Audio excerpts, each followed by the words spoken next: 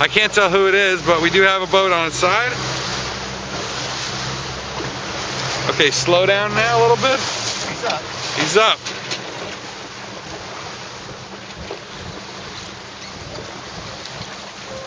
Okay, now back up. Back up. Back.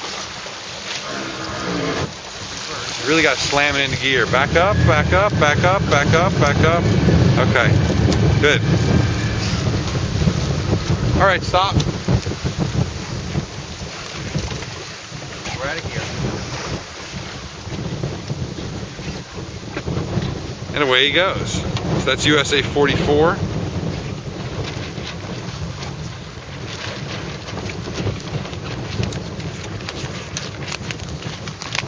He waved to us. That was very nice.